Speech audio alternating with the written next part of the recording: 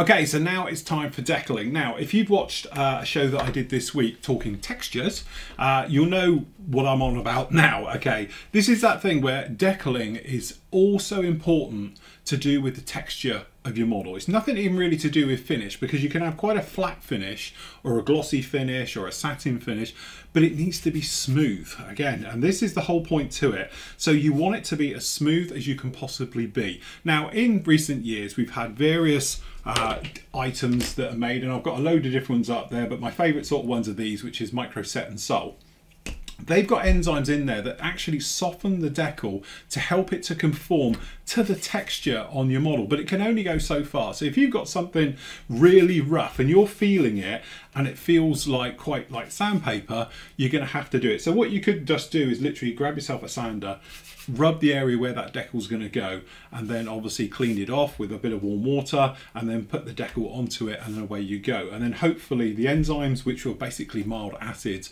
break down the decal making it really soft and it can just conform and push down into all of the texture that's in there. But really you don't want any. Like we said before if you've got it like a glass finish you will never get silvering. And obviously silvering is the nemesis of any type of modeling one of the things that's changed though over the last few years is that literally carrier film, and when we talk about carrier film, this is the what the decal's been printed onto, um, is that is a lot smaller. Whereas it used to be a huge big area, um, and it will go through, and I can show you hopefully down in here some of the differences. So if you catch this in the light, the carrier that we're talking about, if we catch it here, is that you see up here this area looks quite square. Well, obviously it's just got a few areas in. This is the carrier film.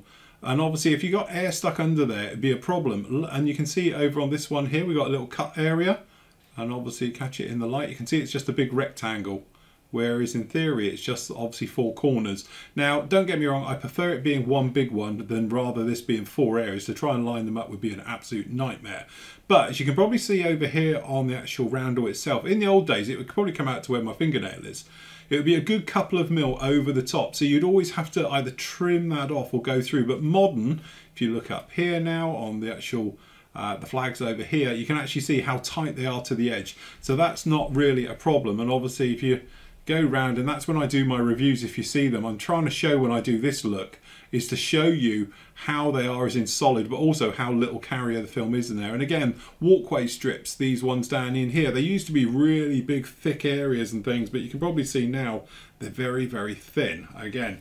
But still preparation, like we said, with everything in modeling going from basically primer right the way through to your final one. It's all about that surface and the texture onto it. So if you're rubbing your finger over it and you're thinking, do you know what, that feels like sandpaper, you've got a couple of options. You can either just give it, again, a go with a polishing stick and try and take some of that edge off to it, or regloss it couple of coats of gloss, let it totally go off, and away you go. Now, underside on here is still a little bit, not rough, but I would say it's a nice satin finish to it. So this would be the problem, but good thing for us is there's hardly anything on the bottom in here as in you know basically large decals with silvering problems lots of small ones but they should conform no problem at all so really simple tools for this job couple of clean brushes. So what I tend to have is a medium, a small and a large brush. Again, it's one of these things, just make sure there's no clean, there's no paint onto them, definitely no oils and things like that, which can affect everything like that, so you're gonna need those. You're gonna need some scissors. To be honest, got my normal orange scissors for this, but I have also got a very posh pair of Tamiya decal scissors. So these are absolutely great for cutting carrier film off and things like that. So we got those. Tweezers, always dead handy. In case it goes wrong, you can peel it apart, get underneath and get it off and move it. So they're fantastic. Cotton buds, again, cotton buds, it's an old fashioned thing, but it just, there's nothing better. You're rolling out the water, you can get rid of it and obviously soak any excess water up onto there right the way through. And then usual thing, a couple of paper towels. So I've just got down into here from kitchen roll, great for dabbing, mopping up, getting rid of too much water, so forth and so on aftermarket you things for this. Obviously as we were saying before there's lots of other ones on the market but these are my chosen two. So what we've got down in here is micro set and sol not to get confused because you would think that perhaps set is the last one on and perhaps sol is the first one. No it's the other way around so the blue one is basically a mild acid. If you smell it it'll smell like vinegar. What this will do is soften the decal. Some people put it into the water beforehand. Some people put it actually onto the surface of the model before they put the decal down onto it personal choice depending on how well the decals are going down, I won't always use it. So sometimes I don't even use set. If it's a thicker decal, Tamiya, things like that, I tend to put this into the water before I use it and all the rest of it.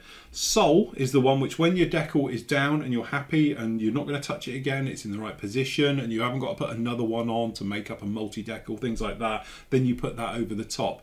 This one will then basically eat into the decal and weld it down onto the surface. Again, no nothing wrong with both of those again, there's lots of other ones out there. I've got Hypersole up there. I've got uh, gun stuff. Yeah, it goes on and on. DACO do some really good ones as well, setting solutions for it. And that's really just what you're after, a decal set, uh, setting solution. Water. I'm a little bit different to everybody else because I do this. I know some people have jugs and they have warmers and various things. I put mine straight onto the cutting mat like this. It's at room temperature, this water. I used to use warm water and it had to be this, that and the other. I think I'm getting old because now I just put it straight forward onto the cutting mat like it. If you wanted to, you could add a drop or two of microset and Sol into this. This is my palette now for working. The reason for having it down here is when we cut the decal off of here and we put it on, it keeps it flat. And then what you can do is just drag it off to the cutting mat and it acts a little bit like a wet palette. It keeps it moist and ready to go, but it doesn't float off and disappear and you don't know which part you're doing, so forth and so on. So that's what I tend to do on there as I'm working onto this one. How you go about putting them down is personal choice. I know some people put all of this lot on first. So this is our actual stencil sheet that we're doing here. And as you can see, it does go on for quite a bit. And again, some people will put every single last one on. Some people will put perhaps just the major ones on once they're on. Remember, there is a two different versions here. We've got A and B, depending on which version you're doing. We're doing version A here. So that's our stencil data for that one. Again, good idea. Grab yourself a pen as you put them down, tick them off, and away you go. Once you've got those down, then most people might then put the other ones on. And for this, to be honest, it's really straightforward. You've only got a handful. So we've got the roundel, which is going to go on top of the port wing. We've got the tail code and obviously the tail flash going on. We've got the roundel down the side of the cockpit as well. And then from our point of view, underneath here, we've got another one just for the access door for going up underneath. So that's really the major ones. They're the ones you see the others you don't see. So again, familiarize yourself with actual sheet, work out exactly which ones you're doing, which versions. Obviously for us, we're not doing bombs or anything just down in here, but we are doing blue steel, so that's slightly separate. But from our point of view, what we're really doing is these ones at the top. So what you can do is grab yourself your scissors and just save yourself a little bit of a thing of working things out because we're not doing the anti-flash one. The anti-flash is in the sort of low vis. So we're just doing these ones along here. So just being careful not to cut off any others. And then we've got these ones over here, which are the ones on top here. And this are general ones as well. And I do believe that this particular coloured dots on here is something to do with the RAM system onto it. So these ones as well. And again, I know some people talk about these should be black because in some photos they're showing as black. In other times they're actually this colour pass your decision is yours for that one.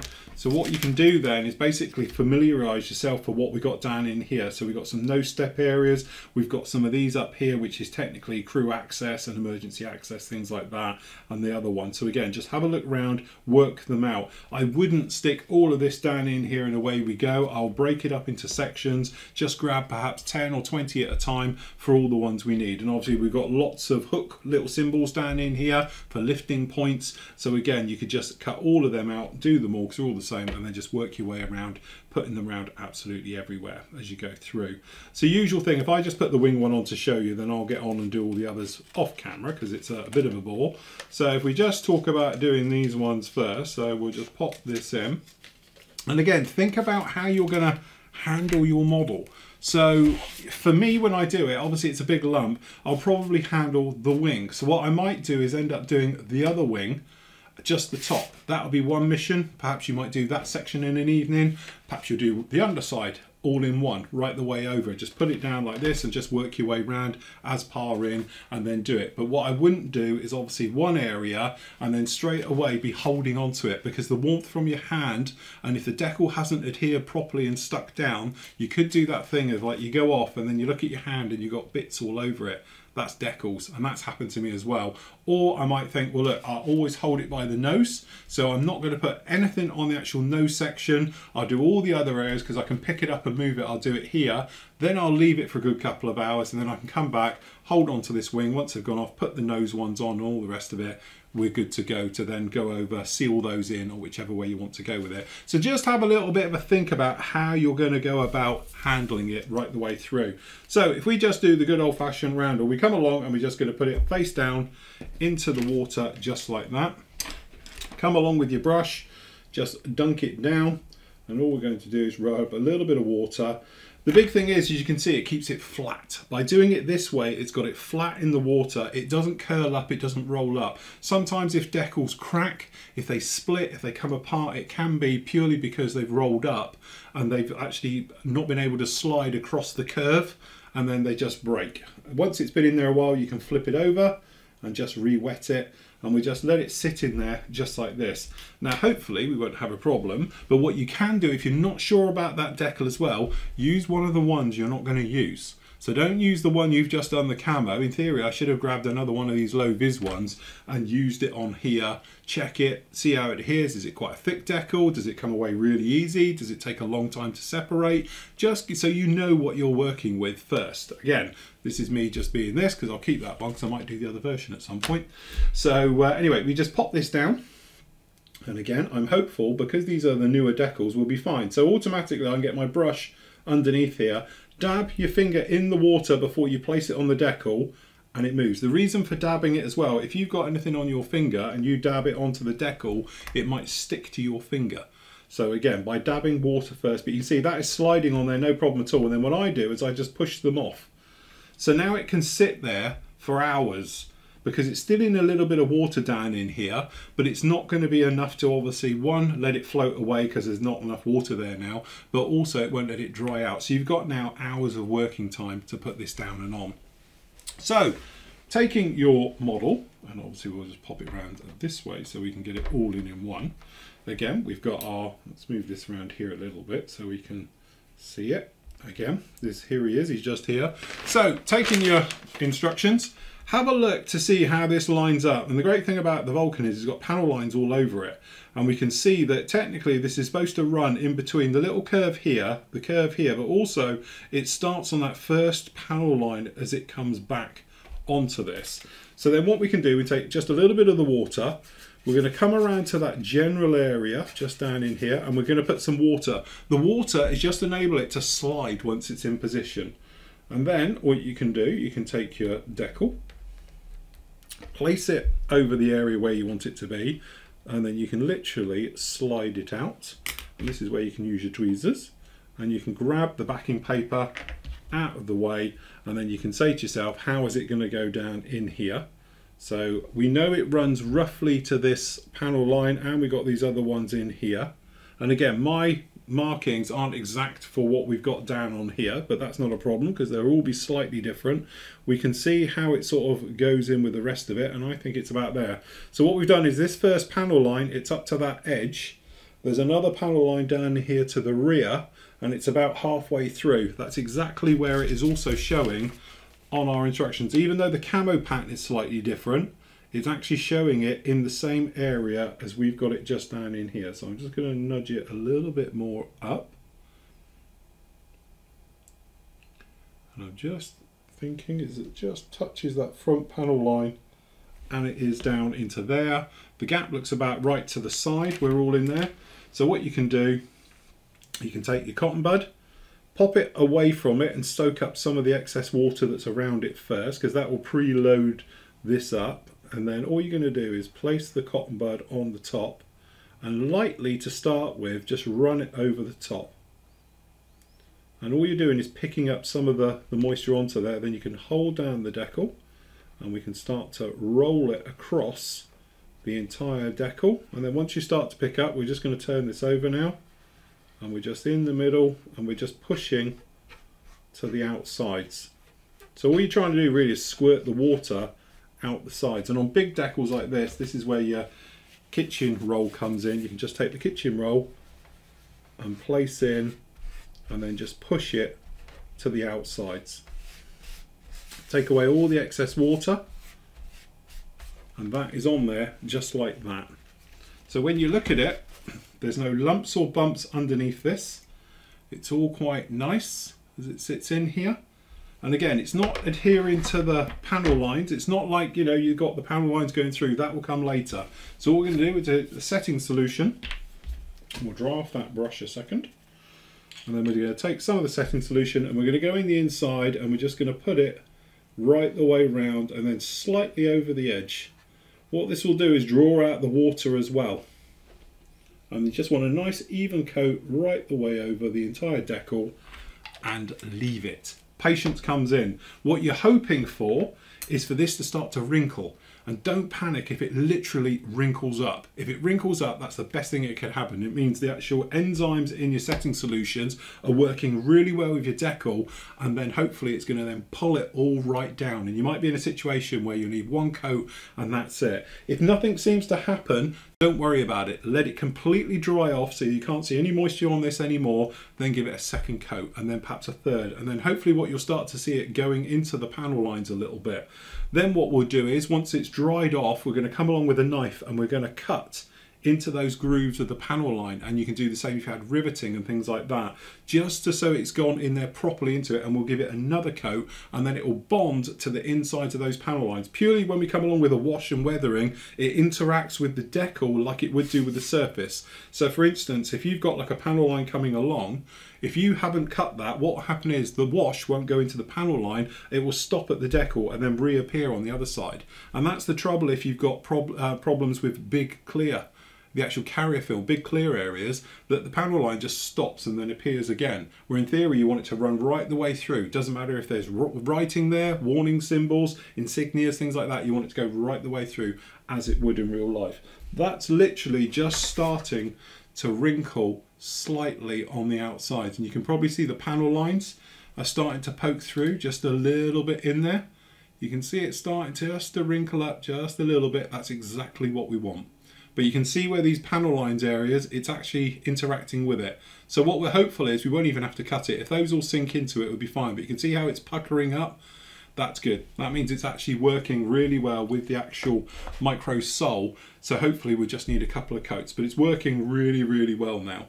So there we go. That's it. Rinse and repeat about a couple hundred times and you have it all decaled. And then what we'll do is we're going to seal this all in with a nice heavy flat to satin coat just so the weathering's got something to bite to so we can get the weathering all over it. And then what we'll do is put a final sort of very gloss coat almost over it to bring back this type of shiny effect like the real Vulcan's got. Okay, so decals have all been on now for around about 20, four hours on this one so we can have a good look round and see exactly what we got off the bat doesn't look too bad at all. So we have got just the odd little thing. So you can probably see just down in here on the roundel the panel lines follow through but it's a couple of little areas it doesn't do exactly brilliantly. So what you can do is you just pop along with a blade put the blade knife in there and just drag it through the panel line. And then again through each one in turn. And what this will do is just it will help it conform a little bit better. But just make sure you're in that panel line and then just pull it through. Then what you can do, you grab a little bit of your setting solution again. Let me just get a little bit more on the brush. And then we can just put down a nice thin coat and then hopefully it will conform in there. So the way this one actually worked was is that I put down that initial one which you saw then we've gone around and then just put another two or three coats onto this one over the case of the last sort of 24 hours. So literally over a couple of hours, come in, have a look at it. It's all dried back. It looks like it's dry and everything else. Then you can put another coat on, but a little bit like airbrushing. Don't just keep topping up when it's wet because you're not going to do anything. You need it to dry and to conform and to bite down. Then you go in again, so forth and so on. But if you look down on here, you can see can't replace ball. We've got a little bit of silver in and it's not very happy. It's one of these things, you catch it in the light, it goes, but obviously we have got it. So, quick little tip for you. If you have got a uh, riveting wheel, so we've got one down. This is just a one mil, but any of them do. Don't you know? I know this is obviously a Rosie the Riveter, but if you've got any type of riveting wheel, what you can do is there's two ways of doing it. You can either do it technically dry, as I call it. So you just come along like this. You pop your riveting wheel on top and you just give it a light rub right the way. We're not trying to rivet it. We're just literally just trying to put the panel, the actual pins to pierce the carrier film. So you can just give it a light rub around right the way over. Then we take our setting solution and then what happened is now the setting solution can get underneath this and give it a generous amount right over. And now it's getting in there. You can see it's already got in there. What happened is that will all bubble up and it will allow then that air out. It allows the setting solution to get underneath it. And as that evaporates, it pulls it down and flattens it out just like that. And that's literally what we're trying to do. So again, checking on the other side, we've got a little bit of the panel line not going right the way across. So again, we're just gonna pop the blade in the groove and we're just gonna run it right the way through. Then same thing, we're just gonna grab a little bit of setting solution and work it somewhat into it. And again, to be honest, on this side, we're okay.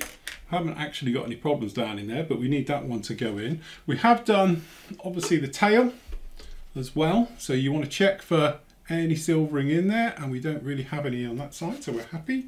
And we can just check the other side, and we don't have any on the other side either, so that was quite lucky.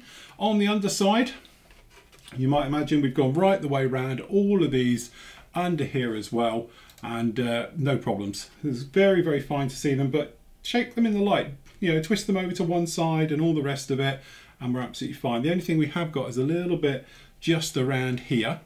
And again, this is one of those ones where it's a difficult thing to conform round, but uh, it might need a little bit just to get that to, to go in. But what we can actually do is we can just do a little bit of cut just to lightly, and again, don't hack through it, but we're just trying to lightly go around it like that.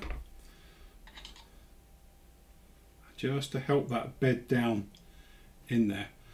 And again just double checking around on any of them. Put them on the side catch them in the light so that way you can see the silvering so forth and so on. The only thing we've done is these we've used the kit ones. Why? I don't know because they all look black on a lot of them but I'm trusting Airfix. Airfix never get things wrong anyway that's all in there like that. So now we're happy with those parts. We also did, obviously, as we said before, we got the gear done and we have got some little decals to go on the wheels. But to be honest with you, we're going to use a pen because I can't be sort of messing around with that. So down in here, we've got a Posca pen and all they are is they look like white little lumps. So you can actually just come along with your pen. And if we grab our magnifiers, there you go. So we can just pop this in here. And what they've got is little white tabs. So if you look at the uh, the instructions, it just shows you with these little white tabs coming off of here. So we can do the same with a pen. So we can just put these in like that. And to be honest, trying to put a decal and get it to conform and all the rest of it is a little bit of a nightmare. So doing it this way is ideal. So that puts those in there just like that.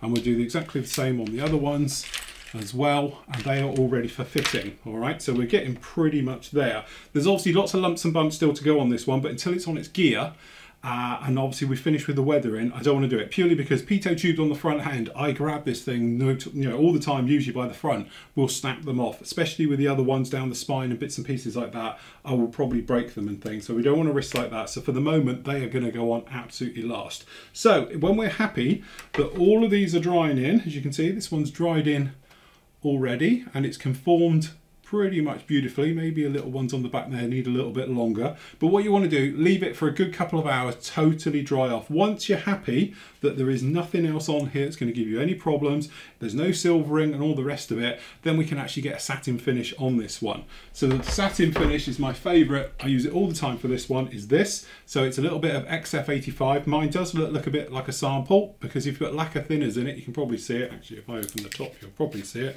You can see it goes yellowy. Don't worry about it. You don't see it. It's just because it's got lacquer thinners in it.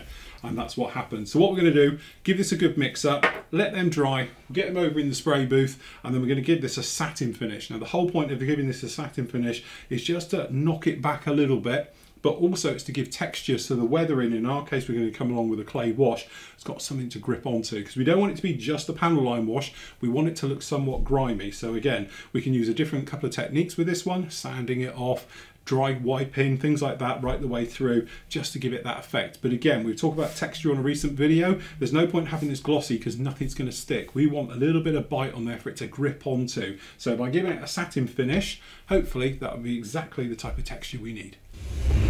Right, okay, so what we'll do is we'll just show you down in here and say don't worry about if your uh, mixture looks a bit like a sample because mine does too. So what we're going to do, we're going to need quite a bit. We've got a big aircraft down in here.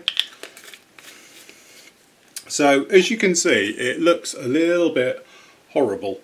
Uh, and it does look like a sample. They all do it. I wouldn't worry about it. To be honest, other manufacturers such as Hataka's looks like this from new. Again, what we're doing is about a 50-50 mix. So technically this is a flat finish going in here, but we're going to do it like a bit of a satin. So to get that effect, what we're going to do is add a little bit more thinners than you would normally. So that's now got around about sort of 65% thinners into that. And then we'll just get this a bit of a mix. Just down in there. So now it looks like a proper dodgy sample, although I'm sure if you took that in you might get a funny look. Again, what we want to do is make sure your airbrush is running totally clear. So if you're like me and you might have sprayed some, I don't know, silver through it at the weekend, you might need to just make sure that that's blowing clear. So what you want to do is basically put it down, put few mil through it. It's its last gasp. When it does that last gasp, if that's suddenly got something in there, then it's time to really clean out your airbrush because you need to. So what we're going to do, we're going to pour our mix into here. So we're going to put just over half of our mix down in here. Pop the top on. Okay. Then what we're going to do is we're going to spray this at a very high air pressure because again we want it to have a nice bit of texture for it to grip onto all right, so that's pretty good. And we want to put quite a bit coming out. There's a reason for this. So normally this would give you a flat finish, but we're going to be quite close to it and we're going to give it quite a, a wet look. Again, I'll try and show you this as best I can. It's a bit of a beast to try and fit in here. All right, so what we'll do is we'll do up here. So when we're spraying this down, we're literally going to be going so it looks wet. So it's got a nice wet look to it. Hopefully you can see that. So we're not putting it down like hairy fairy from a distance and all the rest of it. So when this dries back, it will dry back to a really satin type look to it. And that's the plan for it. So I'm going to get a little bit whiffy in here and everything else. So safety first, on goes the respirator. And then we'll hit the extractors and we'll give it a good coat.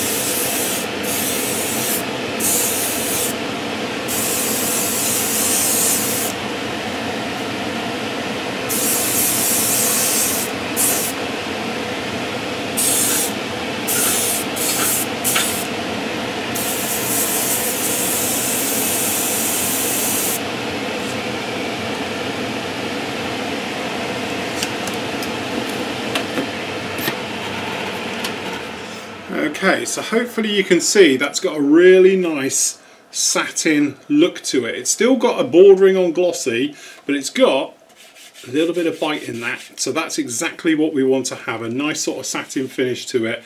And again, it's one of those ones where you can, if you go a little bit and it looks a little bit dry, you can just actually make up a little bit of gloss and just pop that over the top to give you a more satin look, all right? But that's the top side done. Again, you'll know what this stuff's like. It doesn't take very long to dry at all.